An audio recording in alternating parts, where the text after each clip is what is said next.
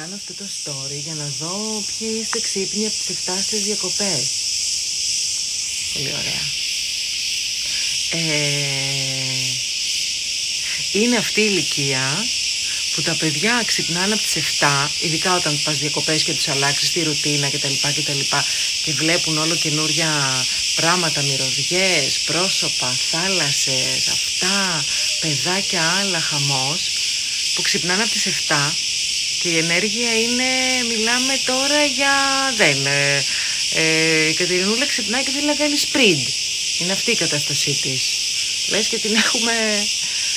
Ε, και φυσικά εγώ προσωπικά από τις 9.30 θέλω να πέσω για ύπνο. Έχω καμία διάθεση να βγω για ποτά και αυτά, ποτέ. Ε, ποτό, καλή τι ποτό; Είστε τρελή, ποιο ποτό;